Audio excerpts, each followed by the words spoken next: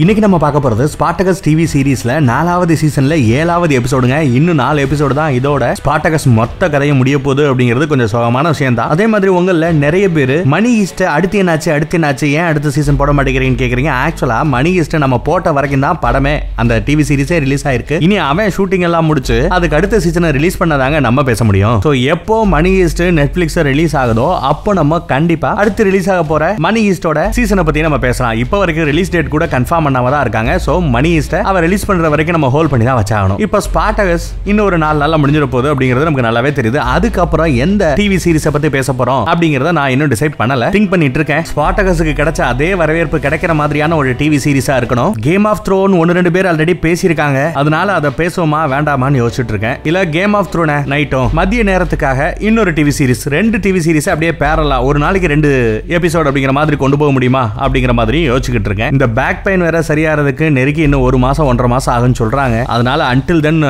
பண்ணுவனா அப்படிங்கிறது தெரியல. லெட்ஸி பார்ப்போம். சரி வாங்க. இந்த எபிசோடோட ஸ்டார்டிங் சீன்ல நம்ம ஸ்பாட்டகசன் டீம் ஒரு இடத்துல சிட்டியை விட்டு வெளியே வந்து முகாம் போட்டு தங்கியிருக்காங்க. பின்னாடி ரோமானிய பட பிரம்மாண்டமா திரண்டு வந்துகிட்டு இருக்காங்க. முன்னாடி நகர்ந்து போகலாம் அப்படின்னு பார்த்தா போக விடாம மிகப்பெரிய பள்ளத்தை தோண்டி அதுக்கு மேல குச்சி குச்சியெல்லாம் ஊண்டி வச்சு அதுக்கு மேல கையில ஈட்டியோட நிறைய ரோமானிய படம் வேற நிக்குது. ரெண்டு பக்கத்துலயும் நகர முடியாம நடுவுல மாட்டிக்கிட்டாங்க. இப்படி இவங்களை ட்ராப் பண்ணி வச்சிருக்கிறதுனால தான் நம்ம யோகிய வில்ல மார்க்கஸ் கூட எங்க போயிட போறாங்க போட்டு விடு நாளைக்கு பாத்துக்கலாம் அப்படின்னு ரொம்ப தெனாவட்டா இருக்காப்ல இப்போ அந்த ரோமானிய மிகப்பெரிய பட சிட்டில இருந்து வெளியே வருது இவங்கள அட்டாக் பண்ண வருது. மிகப்பெரிய படம் வந்து நிக்குது இவங்களும் ரெடியா இருக்காங்க. ஒரு கை பாத்துருவோம். ஒண்ணு இன்னைக்கு அவங்கள சாகடிக்கணும் இல்ல நம்ம சாகணும் அப்படின்னு சொல்லிட்டு நம்ம கிரிக்ஸஸ் எப்பவும் போல கதறிக்கிட்டு இருக்கான். ஆனா நம்ம ஹீரோ ஸ்பாட்டகஸ் மட்டும் அதெல்லாம் ஒண்ணு வேண்டாம் எல்லாரும் அமைதியா இருங்கிறான் ஏய் என்னடா சண்டை போடலாம்னு சொல்லி பார்த்தா நீ ஏன் அமைதியா இருக்க சொல்ற அப்படின்னு கேட்டா ஏன்னா அவங்க நம்ம சண்டைக்கே வரல. அவங்க வரத பாரு. அவங்களுக்கு போருக்கு போக சொல்லி இன்னும் அவங்களோட லீடர். அதான் நம்ம மார்க்கஸ் கிட்ட இருந்து ஆர்டர் வரல போல இப்ப வரைக்கும் அவங்க நம்ம கூட சண்டைக்கு வரமாட்டானுங்க.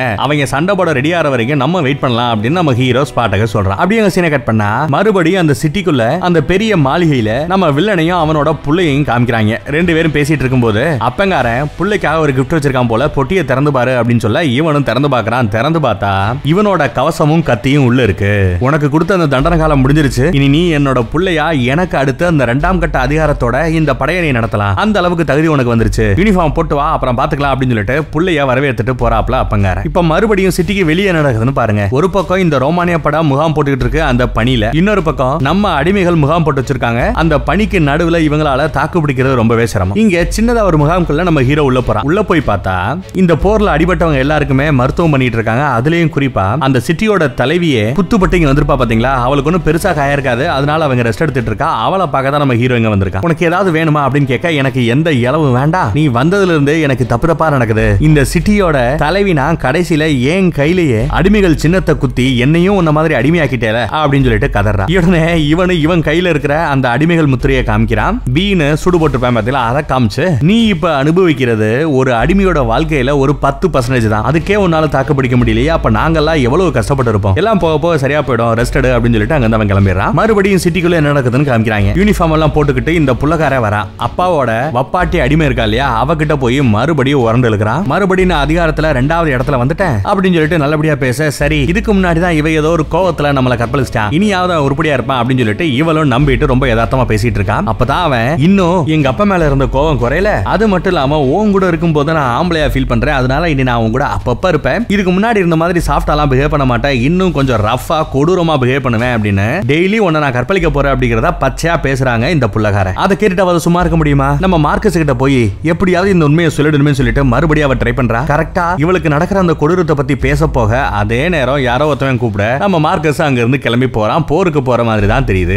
ஏற்கனவே ஒரு தடவை பேச ட்ரை பண்ணா இப்ப ரெண்டாவது தடவை பேச ட்ரை பண்றா இனியும் இவளுக்கு நடக்கிற அந்த கொடுமையை அந்த அப்பங்காரன் கிட்ட மார்க்கஸ் கிட்ட சொல்ல முடியுமா அப்படிங்கிறது தெரியலங்க. நீங்க மறுபடியுமே நம்ம ஹீரோஸ் எல்லாம் பிளான் போட்டுட்டு இருக்காங்க. மிகப்பெரிய பட நேருக்கு நேரா சண்டை போட்டு நம்மளால ஜெயிக்க முடியாது வேற ஏதாவது பிளான் பண்ணணும் அப்படின்னு யோசிக்கும் போது அந்த ரோமானியர்கள் முகாம் போட்டுட்டு இருக்காங்கல்ல அந்த வேலையெல்லாம் நடந்துட்டு இருக்க இடத்துல ஒரு இடம் மட்டும் இன்னும் கொஞ்சம் ஒசரமா இருக்கும்? பெரிய கூடாரம் போறானுங்க அதை வச்சு பார்த்தா அங்கதான் இந்த கூட்டத்தோட தலைவன் மார்க்கஸ் தங்குவான் போல. பேசாம அங்க போய் அவனை கொண்டுட்டோம்னா தலைவன் இல்லாம அந்த கூட்டம் தானா செதறி போயிடும் அப்படின்னு பிளான் போடுறானுங்க. நைட்டோட நைட்டா உள்ள பூந்து அவனை தூக்கிடலாம் அப்படின்னு ஸ்கெட்ச் போடுறானுங்க. நல்லா பனி பெய்யுதுங்க.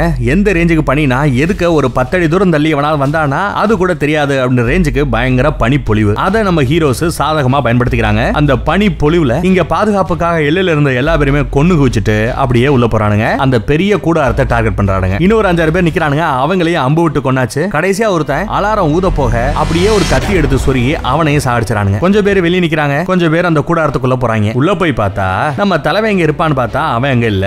அதுக்கு பதிலா நம்ம சீசர ஒருத்தவன் நேருக்கு நேரா சண்டை போட்டு கொல்ல பார்த்தான் இல்லையா?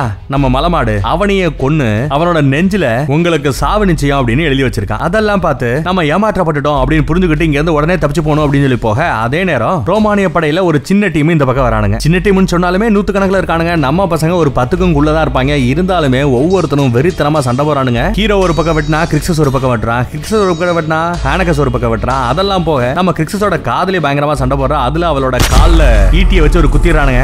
அடுத்து வாயில ஒரு இடி அதுக்கப்புறம் அவளை குத்தி சாகடிக்கிற போற அதே நேரம் எப்படியோ நம்ம ஹீரோ ஸ்பாட்டக சாங்க அந்த இடத்துல வந்துடுறான். நம்ம கிரிக்ஸஸோட காதலிய கொய்யால காப்பாத்திடுறான். எதுக்கு காப்பாத்த தொலைஞ்சா பேசாம அவளை போட்டு தெளிந்திருக்கலாம். கிரிக்ஸஸோட காதலியா இருந்தா கூட அவளை தன்னோட தோள்பட்டில தூக்கி போட்டுட்டு சும்மா விடுவாம பாருங்க வேகமா. செம்மையா இருக்கும். அப்படி போயிட்டே இருக்கும்போது ஏண்டா ஓடுறீங்க?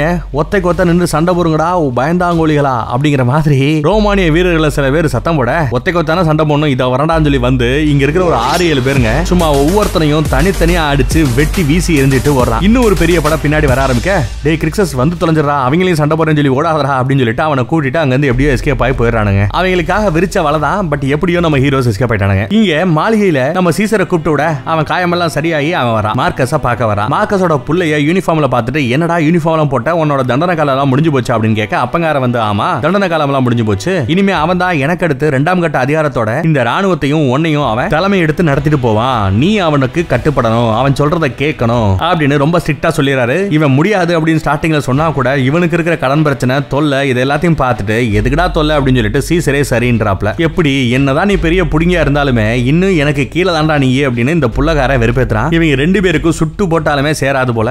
காண்டார் அப்புறம் நம்ம சீசர் அப்படியே டென்ஷன்ல அங்கிட்டு இங்கிட்டு நடந்துகிட்டு இருப்பான் பாத்தீங்களா? அதே நேரம் இங்க இவங்க பேசிட்டு இருக்கிற இந்த மேட்டர் எல்லாம் ஒட்டு கேட்டுட்டு இருக்கிறது யாரு? நம்ம வப்பாடி அடிமை. இந்த வப்பாட்டி அடிமையை பார்த்ததுமே அவன் இன்னும் காண்டாரா அவங்க தான் படுத்துறான் ஏன்னா நீ ஏண்டி என்ன படுத்துற? ஒட்டு கேக்குறியா அப்படின்னு கேட்க இங்க தான் ஒரு டெஸ்ட் நம்ம வப்பாட்டி அடிமையை ரொம்ப சாதாரணமா இட போட்டுட்டாங்க? அவங்களும் பயங்கர விவரம் தான். அவங்க என்ன பண்றாங்கன்னா எனக்கும் மார்க்கஸோட புள்ள ரொம்ப பிடிக்கல. உனக்கும் அவனை பிடிக்கல. நம்ம ரெண்டு பேரும் சேர்ந்து அவங்க கிட்ட இருந்து எப்படி பிரச்சனை இல்லாம வெளியே வரலாம் அப்படிங்கறத பாக்கலாமா அப்படின்னு சொல்லிட்டு கூட்டு சரி பண்றா. உடனே நம்ம சீசர் அதெல்லாம் சரி. நீ எது எதுக்கு உன்னோட மாஸ்டரோட புள்ளைக்கு துரோகம் செய்யணும் நினைக்கிற? அப்படின்னு கேட்டா அதற்கான காரணத்தெல்லாம் உங்ககிட்ட சொல்லணும் அவசியம் இல்ல. நீ செய்ய வேண்டியது ஒன்னே ஒண்ணு. எனக்கு நான் சொல்ற ஒரு ஹெல்ப் மட்டும் பண்ணு. கண்டிப்பா அப்பனையும் புள்ளன்னு ரெண்டா பிரிச்சிடுறேன். ரெண்டு பேரையும் ஒன்னா கூட மாட்டேன். இந்த புள்ளகாரனை திரும்பி அவனோட நாட்டுக்கே அனுப்பி வச்சிட முடியும். அவங்க அம்மா கிட்டயே அனுப்பி வைக்க முடியும். அதுக்கு நீ செய்ய வேண்டியதெல்லாம் என்ன மார்க்கஸ் கிட்ட கூட்டிட்டு போனா போதும் அப்படின்னு மட்டும் அவ ஹெல்ப் கேக்குறா. இப்போ மறுபடியுமே அந்த பணியில குளிர்ல நடுங்கிக்கிட்டு இருக்கிற நம்ம அடிமைகள்ல ஒரு குரூப் காமிக்கிறாங்க. இவங்க எல்லாம் யாரும் தெரியுதா? கடவுள் நம்பிக்கை அதீதமா இருக்கும். என்ன பண்றாங்கன்னா இயற்கையை கும்பிட்டுக்கிட்டு இருக்காங்க. இந்த பனி பொழிவை எப்படியாவது நிப்பாட்டணும் அப்படின்னு சொல்லிட்டு ஆண்டவரை பிரார்த்திச்சுக்கிட்டு இருக்காங்களா நம்ம ஹீரோ ஸ்பாட்டர்ஸ் கூட வந்து எவ்வளவோ கேட்டு பார்ப்பான் பட் யாரும் கொஞ்சம் கூட திரும்புற மாதிரியே தெரியலங்க. கடவுளையே கும்பிட்டுட்டு இருக்காங்க அவனும் அங்க வந்து போயிடுறான். அடிபட்டு இருக்கிற நம்ம கிறிஸ்தோட காதலியா பார்க்க வரான். நல விசாரிக்கிறான் அப்பையும் இந்த கிறிக்ஸஸ் படுபாவி தப்பு தப்பா பேசுறான் நம்ம ஹீரோவை திட்டுறான். இவங்க ரெண்டு பேருக்கு செட்டே ஆக மாட்டேது. அதுலயும் குறிப்பா கிறிக்ஸஸ் எப்பெல்லாம் ரோமானியரை கொல்றதுக்கு சான்ஸ் கிடைக்குதோ அப்பெல்லாம் கொல்லணும் கொல்லணும் சொல்லிட்டு பைத்திய மாதிரி கதறிக்கிட்டே இருக்கான். இவங்க ரெண்டு பேருக்கு நடுவுல வாக்குவாதம் முத்தி போகுது பழைய மாதிரி இல்ல ஸ்பாட்டகஸ் உன் மூளை மழுங்கி போச்சு. இல்லனா நேத்து நைட்டு நம்ம ஒரு பத்து பேர் போறதுக்கு பதிலா எல்லார் கையிலயுமே கத்திய கொடுத்துட்டு போயிருந்தா நைட்டோட நைட் அவங்க எல்லாத்தையுமே குத்து கொண்டு இருக்கலாம் நீ தான் எல்லாத்தையுமே தப்பு தப்பா பண்ற அப்படின்னு சொல்லிட்டு நம்ம ஸ்பாட்டகஸ் கோவத்துல என்னென்னமோ உளறிக்கிட்டு இருக்கான் இங்க இவங்களுக்குள்ள என்ன பஞ்சாயத்துனா நம்ம ஏன் கையில கத்தி எடுத்துட்டு இப்பயே சண்டைக்கு போக கூடாது அப்படின்னு கிறிஸ்டஸ் கேக்குறான். பாட்டகஸ் என்ன சொல்றான்? அப்படி போனோம்னா நம்ம எல்லாருமே செத்து போயிடுவோம். நம்ம செத்து போயிடுவோம் அப்படிங்கிறது தெரிஞ்சு சண்டைக்கு போறது அப்படிங்கிறது முட்டாத்தனம். நம்மள நம்பி வந்த மக்கள் எல்லாருமே செத்து போய் அவங்க குடும்பம் குட்டியை இழக்கிறதுக்கா இவ்வளவும் போறானோ அப்படின்னு கேட்க அதெல்லாம் முடியாது. நான் கத்தி எடுத்துட்டு சண்டை சண்டைக்கு போவேன் அப்படின்னு சொல்லிட்டு கடுப்பாயி என்ன பண்ணிருக்கான்னு பாருங்க. நம்ம கிரிக்ஸஸ் கையில ஐஸ் எல்லாம் எடுத்து ஒரு குடுவையில வச்சிருப்பான் அதை எடுத்து அப்படியே நம்ம ஹீரோ ஸ்பாட்டஸோட தலையிலேயே ஒரு அடி அடிப்பான் பாருங்க. அப்படியே ரத்த லைட்டா கொட்டி அப்படியே பொத்துன்னு கீழே விழுவாங்க. நீ ஒன்னும் கடவுள் கிடையாது. நீ சொல்ற எல்லாத்தையுமே கேட்கறதுக்கு அப்படின்னு பைத்திய மாதிரி கத்த ஸ்பாட்டகஸ் கோவமாயி அவனை போட்டு அடி அடி நடிக்கிறான். திரும்பவும் அடி வாங்குறான். மாத்தி மாத்திரி நம்ம ரெண்டு முக்கியமான ஹீரோஸும் சண்டை போட்டுட்டு இருக்காங்க. நம்ம சீசன் ஒன்னுல நம்ம எஜமானனோட வீட்டுல இவங்க ரெண்டு பேரும் முத முத பார்க்கும்போது எப்படி கோவப்பட்டுட்டு இருந்தாலோ அந்த கோவம் இப்போ இவங்க கண்ணுல தெரியுது. அங்கேயும் சான்ஸ் கிடைக்கும் போது கிறிஸ்தோட வாயிலே ரெண்டு குத்து குத்துறான் அடுத்து கிறிஸ்தோட வயித்துல ஒரு குத்து. ஒரு ரெண்டு இடத்துல அடி வாங்குறான் அடுத்து டபிள்யூஎஃப்ல அடிக்கிற மாதிரி தூக்கி பின்னாடி தூக்கி வீசி எரிவான் பாருங்க. அப்புறம் அவன் மேலேயே ஏறிக்கிட்டு சும்மா மூக்குலயே சத்து சத்து சத்துன்னு குத்தி கழுத்தை நெரிச்சு சாகடிக்க பார்க்க அதே நேரம் நம்ம இன்னொரு ஹீரோ ஹானகஸ் வரா. அவன் ரெண்டு பேரும் சண்டையும் தடுத்து நிப்பாட்டுறான். இப்பேற்பட்ட ஒரு கோல தான் உங்க லீடரா அப்படின்னு சொல்லிட்டு நக்கலா பேசிட்டு அங்க இருந்து நம்ம கிறிஸ்டஸ் கோமா கிளம்பி போயிடுறான். ஹானகஸ் இந்த பக்கத்துல நம்ம ஹீரோவை கூட்டிட்டு வந்துடுறான். இப்போ அதே பணியில நம்ம அடிமைகள் முகாம் போட்டிருக்கிற இந்த இடத்துல இருந்து கொஞ்சம் தூரம் தள்ளி ரோமானியரோட முகாம் ஃபார்ம் இருக்கு இல்லையா? அங்க நம்ம மாஸ்டர் இருக்காரு. யார சொல்றேன்? நம்ம மார்க்கஸ் சொல்றேன். அவரை பாக்குறதுக்கு சீசர் வரா. டே உன நான் இங்க வரவே சொல்லலையடா. எதுக்குடா இங்க வந்த? அப்படின்னு கேட்டா ஒரு முக்கியமான விஷயம் அப்படின்னு சொல்லிட்டு கூட ஒரு ஆளை கூட்டு வந்திருக்கான். யாரை கூட்டு வந்திருக்கான்? நம்ம அடிமை வப்பாட்டியை தான் கூட்டு வந்திருக்கான். அதுக்காக தான் வந்ததா சொல்லி அவளை அங்க விட்டுட்டு இவன் அப்படியே தள்ளி போயிட்டு இருக்கான். திரும்ப போயிட்டு இருக்கான். அப்படி போகும்போது இந்த பையனோட கண்ணிலையும் பட்டு தொலைஞ்சிடான் எதுக்குடா இங்க வந்த? எங்க அப்பா தான் ரொம்ப தெளிவா சொன்னார்ல நீ அந்த கையப்படுத்தப்பட்ட சிட்டில தான் இருக்கணும். இங்க நானும் எங்க அப்பாவும் சேர்ந்து தான் இந்த அடிமைகளை வெட்டி கொள்ளணும் அவங்கள தோக்கடிக்கணும் அந்த புகழ் என்னையும் எங்க அப்பனையும் வந்து சேரணும். அப்படிங்கறதான பேச்சு. நீ ஏன் இவங்க வந்த அப்படின்னு கேட்டா அவரோட வப்பாட்டி அடிமை இருக்கா இல்லையா? அவளை பாக்குறேன்னு உங்க அப்பன் கூப்பிட்டான். அதனாலதான் அவளை கூப்பிட்டு வந்தேன். யாருக்கு தெரியும்? அவ என்ன உண்மையை சொல்ல போறாளோ அப்படின்னு சொல்லிட்டு ஏத்தி விடுறான் அவன். ஆக்சுவலா அவனுக்கே என்ன உண்மை என்ன நடந்தது அப்படிங்கிறது தெரியாது. யாருக்கு சொல்றேன்? சீசருக்கே சொல்றேன். இங்கேயும் இவ அந்த புள்ளைய பத்தி அந்த உண்மையை பத்தி பேச ட்ரை பண்றா. பட் அதுக்குள்ள அவன் தன்னோட புள்ளைய ரொம்ப உயர்த்தி பேசுறான். இப்பதான் அவன் ஒரு ஆம்பளையா மாறி இருக்கான் நல்ல பையனா இருக்கான். அவனுக்காக நான் இந்த உலகத்துல எதை வேணாலும் கொடுப்பேன் வைப்பேன் சொல்லிட்டு ரொம்ப சென்டிமெண்டா பேசுறான். அதனால இவ சொல்ல வந்த மேட்டர் சொல்லாம அப்படியே அமைதியாயிரா அங்கேயே கொஞ்சம் ஒண்ணு மணி இருக்கானுங்க. குளிருக்கு எதமா இருக்கானுங்க. இப்போ அந்த பணியில கொஞ்சம் பேர் சாமியை கும்பிட்டுட்டே உட்காந்துட்டு இருப்பான் பாத்தீங்களா? அதுல குறிப்பா நம்ம ஹானகஸ ஒன் சைடா காதலிக்கிறவ அவளும் உட்காந்துட்டு இருக்கா. கையில இருந்து லைட்டா அப்படியே கத்திய வச்சு அறுத்து ஆண்டவருக்கு காணிக்கையா கொடுக்குறா. பணி வேற பயங்கரமா வீச ஆரம்பிக்குது. எல்லாரும் சேஃபா இருக்கீங்களா அப்படின்னு சொல்லிட்டு நம்ம ஹீரோ ஸ்பாட்டகஸ் இந்த பக்கம் விசாரிச்சிருக்கிற. அதே நேரம் ஹானகஸ காண்டோம் கேனகஸ் எங்கடா போனா அப்படின்னு பார்த்தா அந்த ஒன் சைடு காதலிக்கிற காதலியை தேடி போயிருப்பான். அவ அங்க மயங்கி கிடக்கிறத பார்த்துட்டு அவளை அவன் தூக்கிட்டு சேஃபா அப்படியே கூட்டிட்டு வர பாக்குறான் ஆனா பனி ஓவரா பெய்யுது. நிறைய பேருக்கு அப்படியே உடம்பெல்லாம் விரைக்க ஆரம்பிக்குது. இங்க இந்த சிட்டியோட தலைவர் இருக்கா பாத்தீங்களா? அவன் என்ன சொல்றா? எனக்கும் ரொம்ப குளிருது.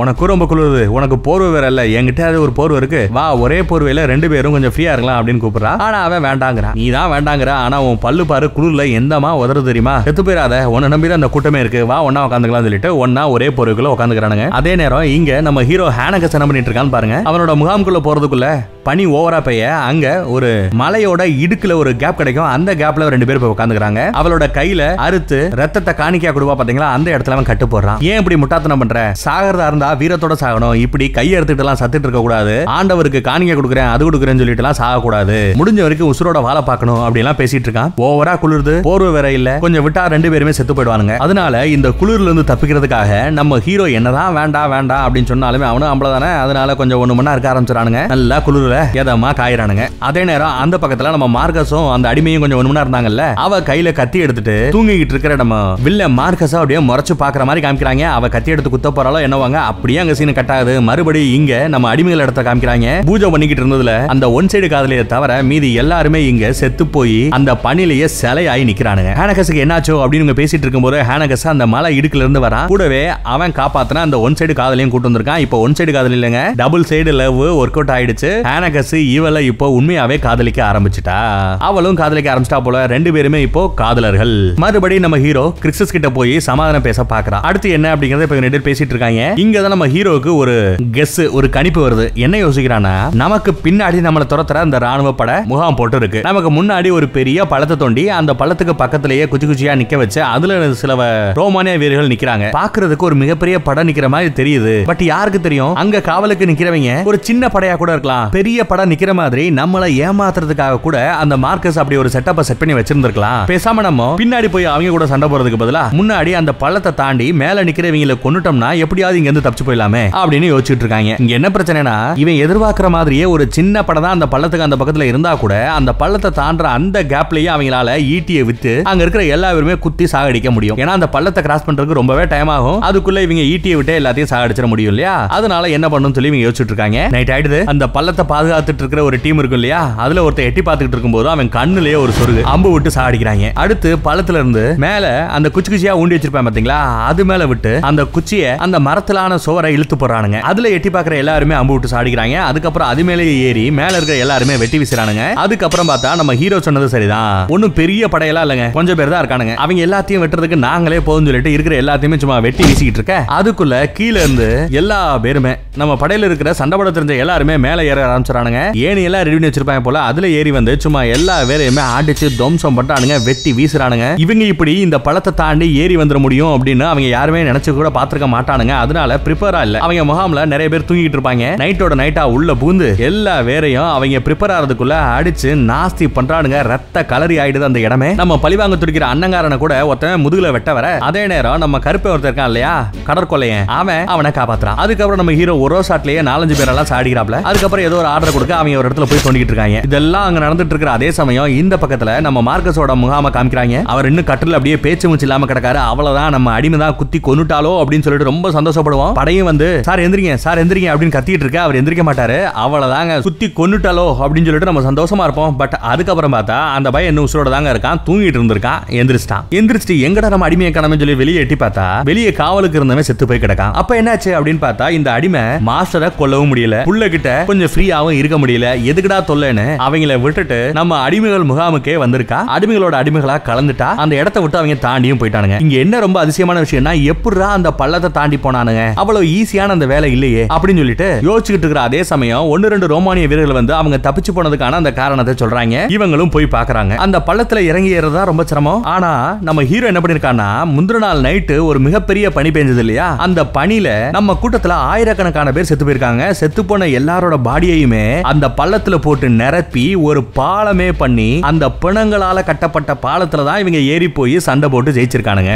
இத நம்ம மார்க்கஸ் எதிர்பார்க்கவே இல்ல. எப்படா இந்த மாதிரி எல்லாம் யோசிக்கிறான் அப்படின்னு சொல்லிட்டு யோசிச்சுக்கிட்டே அப்படியே ஒரு செகண்ட் கீழே குனிவான் பாருங்க. அந்த செகண்ட்ல பின்னாடி ஒரு அம்பு வந்து பின்னாடி இருக்கணும் சாடிக்கும். மார்க்கஸ் எஸ்கேப் ஆயிடுறான். அதுக்கப்புறம் பார்த்தா நம்ம பசங்க இப்ப மேல இருந்து கீழே நிக்கிற இவங்க மேல ஈட்டி இருந்து சாடிக்கிறானுங்க. உங்களுக்கு எங்க கையில தாண்டா சாவு அப்படின்னு மிரட்டுறானுங்க. இவங்கள பார்த்து பயந்து நம்ம மார்க்கஸோட டீம் பின்னோக்கி ஓடுது. திரும்பி அவங்க அந்த மிகப்பெரிய படையோட கிளம்பி வர்றதுக்கு முன்னாடி நம்ம இங்க இருந்து காலி பண்ணி முன்னேக்கி போகணும். எவ்வளவு முடியுமோ அவ்வளவு வேகமா நம்ம கிளம்பணும் அப்படின்னு நம்ம ஹீரோ சொல்ல இந்த எபிசோடு இந்த இடத்துல முடியுதுங்க. ரொம்ப சிறப்பா தான் முடிஞ்சிருக்குன்னு நினைக்கிறேன். அடுத்த மூணே எபிசோடு தான். பார்ப்போம். இப்போ இந்த எபிசோடுக்கு எந்த மாதிரி நீங்க சப்போர்ட் பண்றீங்களோ அதே மாதிரி அடுத்து நம்ம பேச போற எபிசோட்ஸ்க்கு நீங்க சப்போர்ட் பண்ணணும். உங்களோட எதிர்பார்ப்பு என்ன அப்படிங்கிறது எனக்கு தெரியும். முடிஞ்ச வரைக்கும் அந்த எதிர்பார்ப்பை பூர்த்தி செய்யற மாதிரியான நல்ல டிவி சீரிஸை தான் நான் கையில எடுப்பேன் நினைக்கிறேன். பார்க்கலாம். தேங்க்யூ